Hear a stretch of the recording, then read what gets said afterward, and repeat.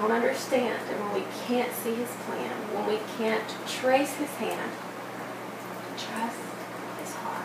Trust his heart. And his heart is love for us. Welcome to the Living Epistle Podcast. My name is Madeline Fenelon, and today I have the privilege to sit with a woman who have inspired me. I think when I moved away from New York to law school in Kentucky, I met Galadrielle and I love her character. She takes life serious. She's not passing through. She examined every situation of her life, and that inspired me. And I think it, eh, she have a lot that people can learn from as she's pursuing life and what God has for her. Hi, Galadrielle.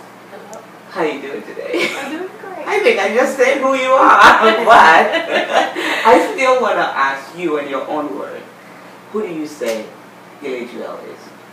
Well, I think I could say that I, I find my identity in Christ. And because of his mercy and love on my life, um, that um, he is the one that gives me meaning. And so when I think of who I am, I can't think of who I am apart from who God is in my life. And I love that. I find my identity in Christ. What is that identity? What is the core identity? that you found in God? I think knowing that I'm His child and that He has a plan for me, He has a purpose for my life, that I'm not just here by some accident, but that um, that. that He is. Mm-hmm. He's everything, and you know, in whatever we go through in life, whatever we face, um, if we can have that foundation to know that God is with us and, um, and that He wants to use our life for His glory and that we can have an intimate relationship with Him. That is the uh, that's the goal. That's and it is doable. Yes. I think for me it's the same thing too. Realizing that I'm not here per accident or I'm not just passing time yes. makes the world of a difference for me. So I'm thankful that you have found that in the Lord. Yes. Yeah. And so, okay, so Jesus gave you your identity. How did you meet Jesus? Well, I um, I grew up in a home with my mom and my dad and my older sister, and my mom is a Christian and uh, has always been you know, since I was born, the first one of the first places I went to was church. Yeah. Um, my so a church girl. Yes, um, but my um, my dad is not a Christian, and he still is to this day. And so, um, um, but my my growing up childhood was greatly influenced by my mom, and I went to church. But um, it was um, I had experiences with God, obviously going to church. But your question was, how did I really come mm-hmm. to know Jesus? And I think um, there were experiences all growing up, but there was definitely a point in my life when I really did come to know him when I was a teenager. I was about 13 or 14 years old.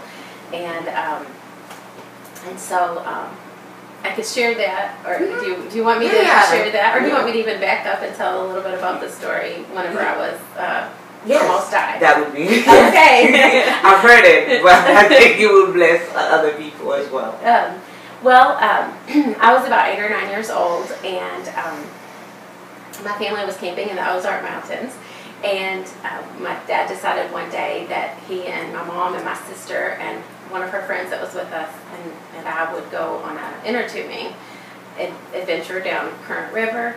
And as I said, have said before, there's a reason why it's called the Current River. it has, uh, it sometimes it's pretty calm and everything, but there had been a lot of rain at that time and um, they told us at the rental place, you know, that it, the water was up and that there were some pretty rough spots in there, but you know, the, it's kind of do it at your own risk. Okay. And and oh, so yes, yes. and uh, but you know, you saw other people doing it, and it seemed like it would be safe enough. And so I remember that day feeling like. Um, in the pit of my stomach that something didn't feel right, and I was just nervous. And before you, we yes, hmm. before we were gonna like as we were getting ready to get in the inner tubes, and I remember telling my dad, you know, I just feel nervous about this. I just don't feel. I just feel this feeling that something maybe is going to be go wrong. Right. And um, and so, anyways, we went ahead with it, and um, and we were floating down the river, and and then um, I don't really know how much time passed. Things were going pretty smoothly, and at one point we got to this area and we saw there was a bunch of brush, um, like branches and everything. And we were it, the the river started getting really swift, and the current started getting, you know, really strong. Mm. And um, my dad says, "Well, everybody take your feet and try to, you know, push away from it." And so um, we did, but we were no match for the current, and um, and we all of our inner tubes slammed into this. It was kind of more not right on the bank, but it was a little bit away from the bank, and we we slammed into it, and it tore all of our inner tubes apart. And then, kind of what happened next? It all happened so fast, but it almost is in slow motion in my mind. And then some of the parts I remember, of course, was just how it affected me, but then I remember how hearing how whatever happened to my sister and her friend and my mom and my dad.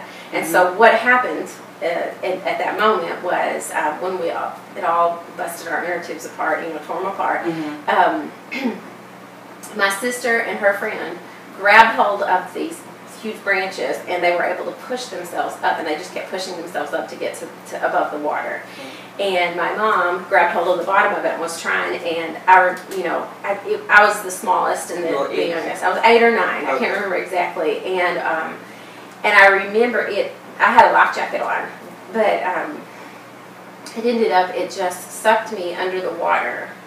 Um, and I remember feeling my mom's feet on top of my head. And um, and a lot of times when people are in a, from what I understand, in a situation like that, and you go underwater, you get scared and you, you know, and then that's a lot of times where people will take in water.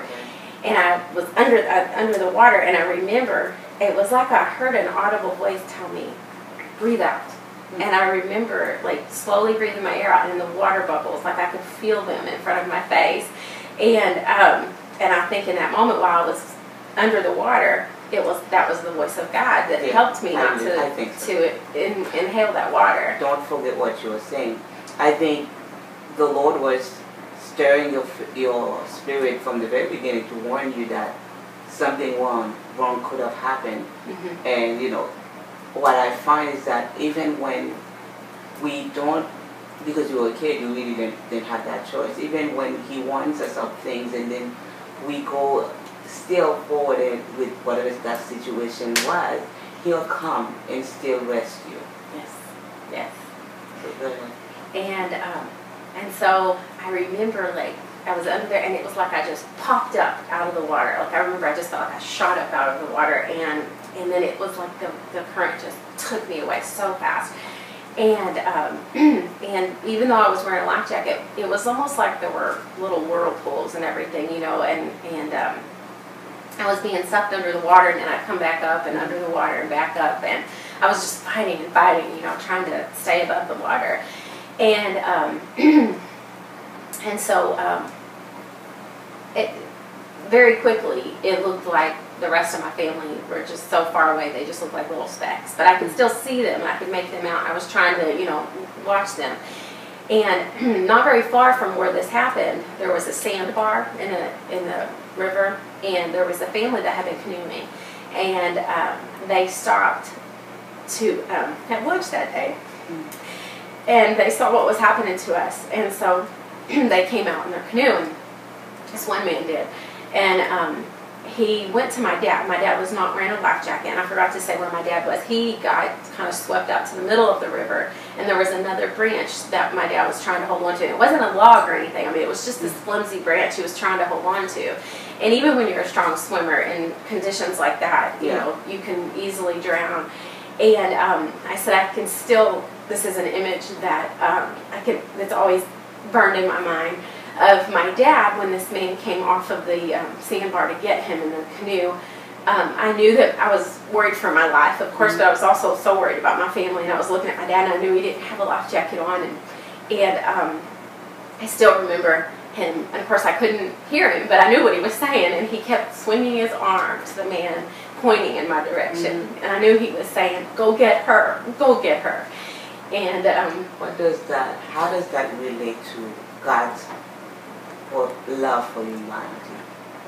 do you see a connection? Yes. Can you share that? Yes. I think because, you know, there's a scripture in the Bible that talks about how our earthly father, you know, would, would take care of our needs. How much more will our heavenly father? And, um, and the love that um, my dad had for me as his child, that he risked his life for, for me. You know, um, he could have died that day. And Jesus is, you know, he he gave his life for us, and he did that as his great rescue plan for us, so yeah. that, that we could be saved. And that's available to to everybody. To everybody. Everybody who wants it. Yes. Right. Yes. So continue if you remember. and so, um, so um, they were still far away, and I didn't know if he would even make it because where I was, um, you know, I was so far away. I thought, well, can he even get to me because the way the water is, and um, and so I was fighting, and um, and uh, I remember thinking that in, I'd heard in church, you know, that you have to love Jesus, you have to love everybody. You can't make it to heaven with hate in your heart, and and I. Uh, I thought, well, I, I felt like I was I was really going to die, mm-hmm. and um, and I thought, well, what's going to happen? I want to make sure I go to heaven, and so I um, I wanted my family to know I loved them, and so I. It sounds really funny, but I started yelling out. I said, I said, goodbye, everybody. And I was trying to lift my hand up, you know. I said, goodbye. And I said, goodbye. I love you. I love you, world. I love you, everybody. I love you. I love you. Goodbye. And it sounds funny, but it shows your heart for the Lord. There is a love for the Lord, for, for the Lord in your heart that no matter what it is, your goal, your aim is to be with the Lord. Mm-hmm. And that's the heart. That's the goal, the heart of gold. yeah. So like God has blessed you with something from the very beginning, from a you know a young age.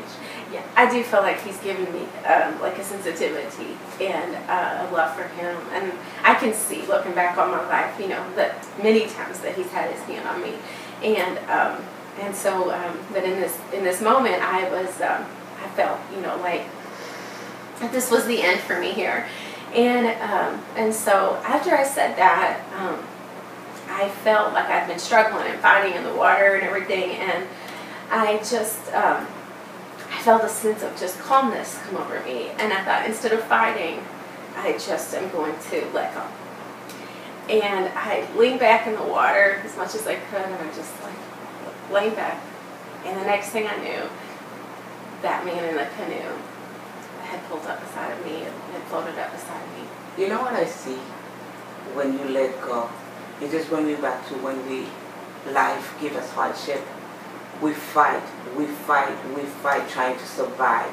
And then when we let go and say, you know God, I'm just gonna give it to you. I'm gonna leave it in your yes. and there he'll come and be who he is. Yes. Which is a rescuer. Yes um, among other things. Yes, yes. And um, and that man, he pulled me in the boat, and, uh, he told me, he said, um, he says, I heard you. He said, I heard you saying that you um, that you loved everybody, and you were telling the world goodbye, and. Um, he says, and I want you to know that I love you too, and that God loves you too.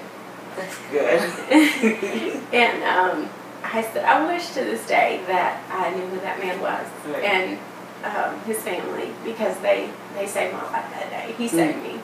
And I know that God used him.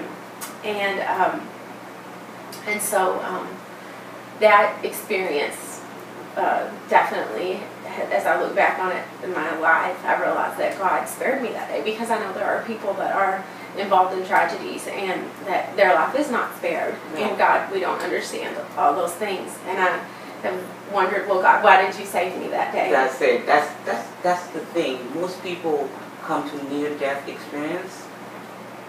There is a reason that God gave you another chance. Mm-hmm. And I think anyone who, if I were to be in that situation, I think the rest of my life should be spent trying to figure out why is it that you spare my life Yes. Yes. what is the purpose and what is the reason. Yes. And if, you know, if there's anything I could ever, you know, my life could, could be is to make a difference and to point people to the Lord and, and to realize that He can make your life worthwhile and He can, He can save you. He can, He can give you.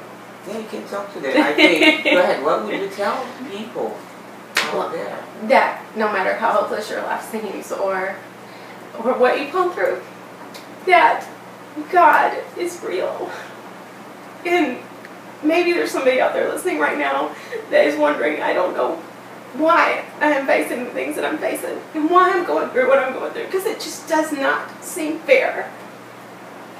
But God is so real and He can be with you and He can comfort you and He can help you through anything that you go through in life. He can help you through any. I'm thankful that the Lord decided to save your life because when you were eight, I did not know you, but as you, when you got older and I moved to Kentucky, I got to know you, and you have impacted my life. You may not know it, but you have. The Lord saved you when you were saved your life, your natural life, when you were eight years old. And we did talk about how God saved us for a reason, for a purpose, and what is that purpose? So after you were uh, on shore, right? out of the water, mm-hmm. out of the current water. Yes. what happened after that? Well, um, you know, I went on with my life, of course, and then I, I became a teenager. and uh, a teenager. A teenager, yes. That time um, when a lot of children or young people, you know, start questioning their identity or trying to find who they are. And um, during that time, I, um, I experienced a lot of things in the world, um, and uh, I wanted to just see what the world had to offer because it looked fun, and and um, and of course we know that there are fun things in the world because it says that there are pleasures of sin in the Bible. It says the pleasures of sin, but it says that they're only for a season, a season. And they don't leave they don't leave you with lasting happiness. And um, but uh, I wanted to experience things of the world, and so I did, and um, and I was just going along with my life and having a good time. And um, there was one day, it was in April, um, around this time of year. Can I just say I'm impressed by your memory and how you you you know how to pinpoint the the pivot, pivotal moment of your life. Yes. Yeah. Yes. well, I um, so I um, I was at church and uh, because I did, even though I was experiencing the world, I did continue to go to church. It was more like physically being there. Yes, my heart was not there. I was more doing it kind of out of an obligation to make my conscience feel better, but I didn't really participate. Um, I was just. Um, yeah, I was a churchgoer, but I. Uh, I really had a bad Can you just say something about that? Is there a difference between being a churchgoer and being a Christian?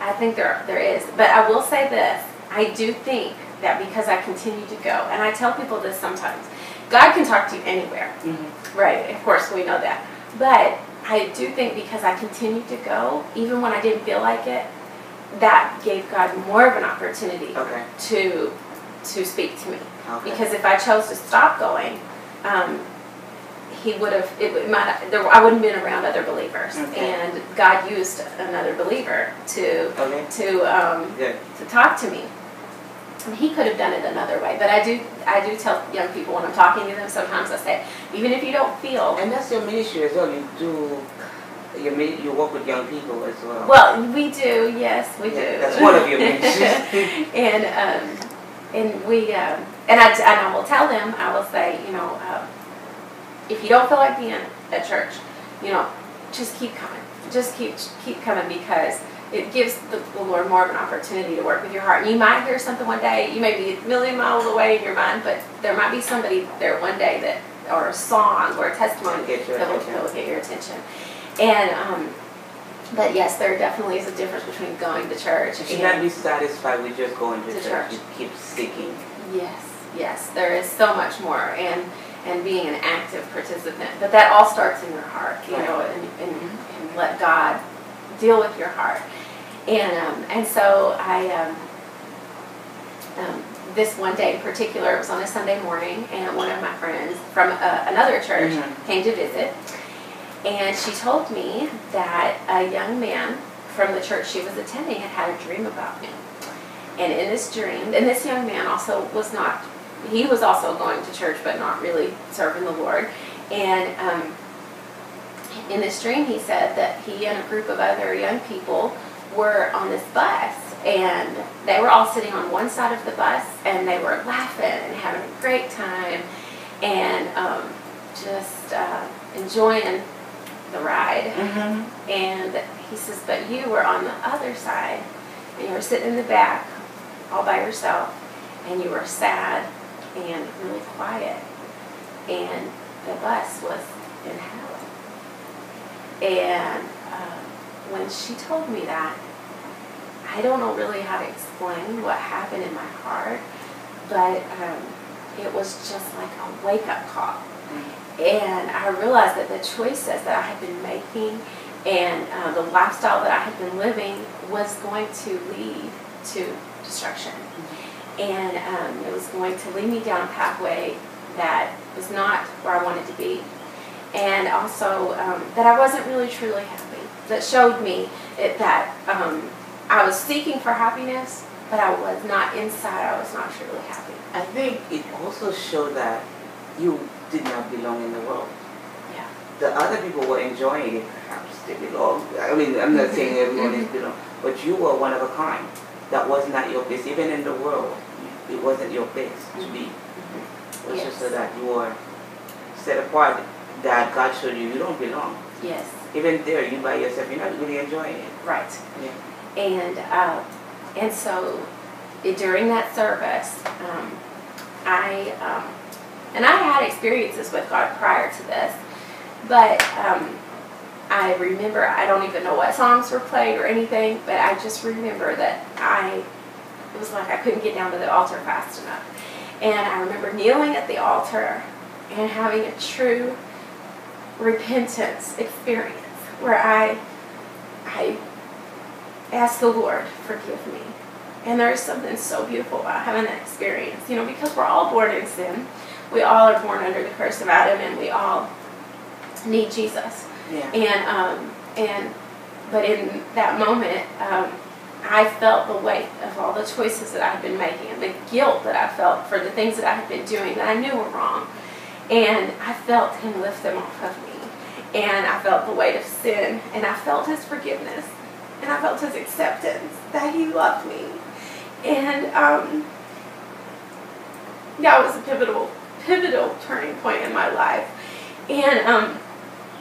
I was going to, um, I was in middle school at that time, which is a really hard time, you know, for Yeah. kids. Um, and um, I was getting ready that next year. I would have been going into high school, and I remember that, um, you know, I had had a, certain reputation at school. You know, I, I hung around with people, The cool people. the cool people, you know. and it was, I remember, you know, thinking like, when I was praying after I had this experience, I said, "But God, I said I don't know how to change overnight. I don't know how to change my like." You know, and it wasn't just the outward appearance, but it was like, how do I? That was definitely part of it, but it was like not just my outward appearance, but just how do you change like that? And God, you know, the great thing about God is that He doesn't like demand you need to just, you know, like be this person overnight. He gives us patience. It's my way. He, it's not like it's my way to highway. Yes, like he works with us, you know, and it's like you just take one step, you know, just take a step at a time. And um, and I that was a huge step for me that day. And I said, Lord, can you just help me? Like I want to finish the school year out. And and this summer I'm really going to make changes in my life where I want to. Um, I really want to. to I, I made a vow to the Lord that day that I was going to change my life. And uh, and so the rest of that school year, which I said that was in April, the end like middle to end of April when this happened, and um, school would be getting out like at the end of May. And so um, I, you know, at the end of May when school got out, it was like the Lord brought that back to my mind. You know that that I had made that vow to Him. And not that I'd forgotten about it, but it, it was like I knew pressing. yes, it became more pressing in my heart. And um, and so that summer, I started making choices that um, led me um, to get closer to the Lord, and I uh, had to, you know, make some choices about the people that I hung around with uh, because that were influencing Oh, me, and um, and I had to. Uh, the Lord gave me good friends that were were Christians and that that um, were following Him, and um, that I was able to spend some time with, and uh, but I started making those changes, and you know, as I've said, I um, it doesn't mean that I was, you know, had it all figured out at that point. I've still figured it out, and um, and I, um, you know, I, I made mistakes after that, wrong choices. But I said the, the best way I know to describe it is that was like from that day forward, it was like my face became set like a flint, Mhm. and I knew that I wanted to live my life for the Lord, and um, and He changed my life completely, and um, and He He gave my life a purpose.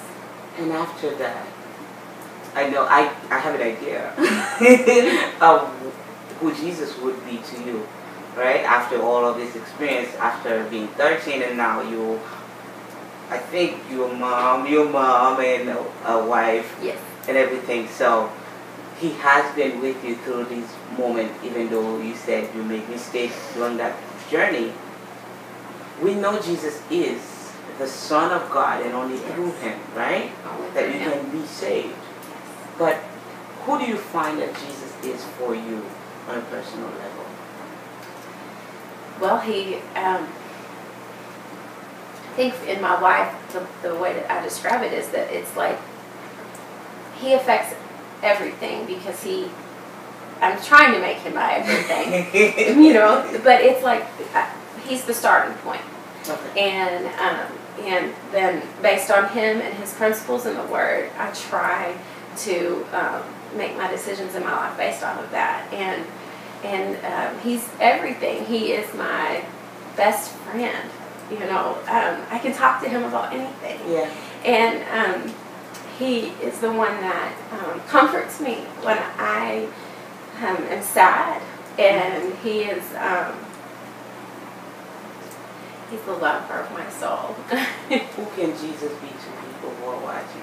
If they're going through a hard situation, what do you tell them about your Jesus? that he's the answer. He is the answer And it's not just a cliche. It's not. It's not. Whatever questions that you have, whatever situations you're dealing with, whatever, if you're trying to find a purpose in your life, you know, they're trying to find the meaning to your life. Why am I here? Why is everybody here? What is life all about?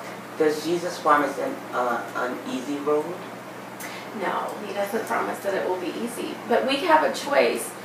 Life is going to have struggles whether we serve the Lord or not. Yes. Yes. So we can either choose to try to face them on our own and handle them in our own way. And fail. at the end. Yes, right. And or we can can go through them with God. And no, it won't be easy all the time, but it will be worth it. And and He does make the pathway easier because He's with us. You know, the um, the struggles that we face, the things that we go through, they are um, the load's not as hard when you know that He's helping you carry the load, that He's walking beside you every step of the way. You know, um, that just to know that we're not alone in this world. You're not alone. You know, and that there's a God that loves you, that He's reaching out and He's calling you, and He knows your name. He knows, and He wants to save us. He wants to save us from ourselves, and that He has so much, so much to give us. And it's all because of love. Yes, Wants this. Can you imagine someone love you, you don't have anything to give? Yes. Even when you're a mess, when I'm a mess, he loves and wants to make you the best. That's beautiful. And so we know through the struggles, through the pains, he does leave us with comforts. And one of them is the Holy Spirit. He also gives us the Word, the mm-hmm. Bible. Do you have a favorite scripture or go-to scripture that you go to? Oh, wow. you didn't see that You know, I I think I have many scriptures that I do love, um, but I do think that I um, really love Romans eight twenty eight. That's right. because it says, For we know that all things work together for the good to them who are the called according to Christ Jesus. I believe that's how it says it, um, in Christ Jesus. And um, and so um, I think that if we can look at our circumstances in our lives, whatever it is, you know, I have faced some difficulties in life, but I know they're not compared to what some of people may be out here are listening to right now. Um, death, possibly, of a loved one. And, um, you know, I, can't make sense of everything that God happens in life, but I know that God gave us that promise in, in the scripture that all things can work together for His good. And we may not see the good, we may not understand it, but that God can work in every circumstance. And there's a, um, a song that I love. It says that God is too wise to be mistaken. Mm. God is too good to be unkind. So when we don't understand and when we can't see His plan, when we can't trace His hand, trust His heart. Trust His heart. And His heart is love for us. It is love. It's love. I love it. You just ministered to me.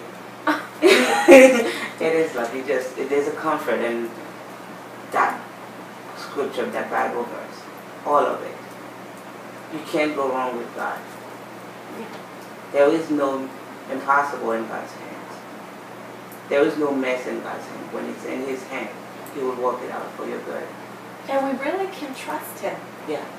We really can trust Him. We don't have to try to figure it all out ourselves. Yeah. We can just go to Him for guidance and know that when we lay it in His hands, our life in His hands, that He can work things out in ways that we can't. Yeah. He sees things that we can't see because His ways are higher than our Yes, definitely, definitely. So, you know, this is the living episode whatever, right? Yes. I'm bound to ask this question. Okay. What does it mean to be a living epistle if you have an understanding of it? Well, I mean, an epistle is a letter, right? Written, you know, and a, a living epistle, that term is used in the Bible. And so when I hear that, I think that my life is a letter that people can read. And when they read it, we want them to read not us. It's not about us. Yes. No. But if our lives and experiences and everything that we go through, if it can be a letter that someone can read that can point them to Jesus. I love that. And who inspires you? Inspires you? Who inspires me? Mm-hmm. Oh. I have so many people that inspire me. You know, I do tend to, um, I'm a deep thinker. I'd love mm-hmm. to seek the truth. And so I, I tend to gravitate, you know, towards um, people that are deep thinkers. Maudlin is an inspiration to me. and I'm not just saying that. Because she's my friend. she is. Praise God. Um, Praise God. But, um, um, people that are inspiration to me. Wow. Are you going to be able to edit it this part? Okay. she wants me to edit it, but I probably will not. That's the candid moment of the show. I, I, will say this. There, uh, there are so many people that inspire me. I mean, like, the, the person that's behind this camera, Rachel. Um, she and she does inspire me. Yes. I, I probably, she probably doesn't want us to say this, but she does. she does, and her her mom, but her family. Well, my mom is an inspiration to me, of course, and um, but like Rachel and her mom, uh, they were um, big influences in my life, still are, um, and uh, are are inspirations to me, and also. Our uh, the pastor's wife, uh, the church that I go to, she passed away, mm. and um, but she was definitely an inspiration to me as well. She was just someone that loved God with all of her heart. She gave her life to God. Her her um, she her whole when you were around her, you just could tell that she loved God. Mm. And you know, I've said before, it's amazing when when when people love Jesus, you see it. You can just yeah. And and, and it uh, makes you thirsty yes. for more. Yes. Yes, it does. And so if all of us can represent Jesus as those people, we won't have to shout. We won't have to say things. Our lifestyle, the way we live, yes. will attract people to the Lord. Yes, because I think they can see that that we have a peace about us that there's so much turmoil going on in this world, but we can have a peace because we know we have Him. And people can see that because people are looking for peace. I think people are looking for answers. They are, and and and the answer is here. It is here. When I say it's here for us because Jesus is here. Jesus is the answer. Yes. Is there anything that you think you want to share? Anything else it does you don't have to, but if you feel the leading right now to share anything, you have the floor.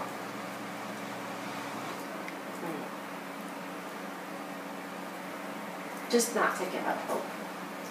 I went through a difficult um, period in my life, and maybe an, another time we will be able to Oh, share that. Um, but I remember I had this word, you know, um, it was on my wall um, that I had, and I, I strategically placed it when I was going through a difficult time. And uh, the word is hope. And I would wake up in the morning and um, I would open my eyes and I would see that word hope. Because this moment in my life that I will share maybe later on, um, I I didn't feel like maybe that there was hope, and I was struggling to find the hope, and um, and so if there's something that I could say when I would see that word, I to remember my hope is in the Lord, and um, and that He He can bring me through anything. And so if there's anybody that's listening right now and watching this and wondering, is there is there hope for me? Is there hope for my situation? There is. And I think when I was going through a hard time, and it was hard, and I didn't like the fact that I it wasn't easy for me. What what I mean is that I was wrestling with the Lord in a way. I wasn't just yielding as easily, and I think I was sharing a conversation with you, and you probably don't remember. And I said it's so hard, and I feel bad about it. My attitude toward the Lord is not that great, and I think you said this. Well, it would not be a test if it was easy. I don't know if you remember. Yeah, you said something to that effect. It would not be a test if it was not, if it was easy. And I don't know why I share that, but I think it's profound. So thank you so much, Gilly Jill, for sharing, and I thank God for you. People like you make it comforting, and it's kind of like a flame to fan the hope that is within so we can keep pursuing the Lord, the journey that the Lord gave us. So I thank God for you. Thank you for sharing. And I pray that you were blessed through this project, through, through her testimony actually. And the Lord is here for you. It's not, there is no hidden agenda. If it was up to us, we probably would not care to share anything with you. But the Lord, the love of the Lord has opened our heart and command us to share. And He actually give us a heart to want to share the love of the Lord to you. There is hope and it is in Jesus. So try Him and you will see that He is good. Until next time.